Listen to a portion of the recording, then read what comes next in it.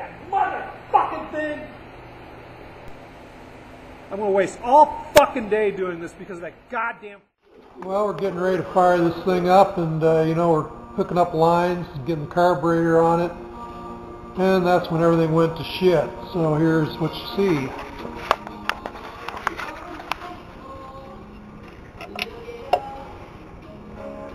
There's the rest of it. Yeah, that's going to be about a hundred dollar fuck up. Do you still want to be a racer?